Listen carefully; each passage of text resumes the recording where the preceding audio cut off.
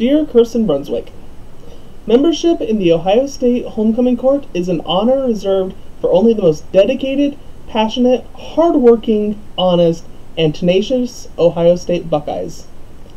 For outstanding service to the Ohio State University, you are being recognized as a member of the 2020 Lima Homecoming Court.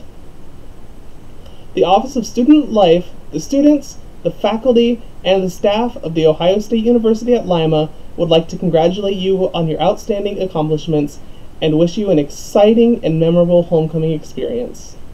You are truly deserving of this honor.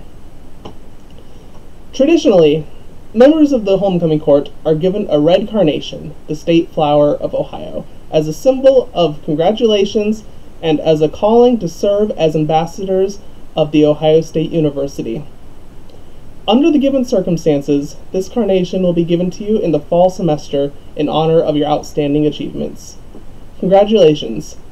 Sincerely, Joshua Shepard and the 2019 Homecoming Court.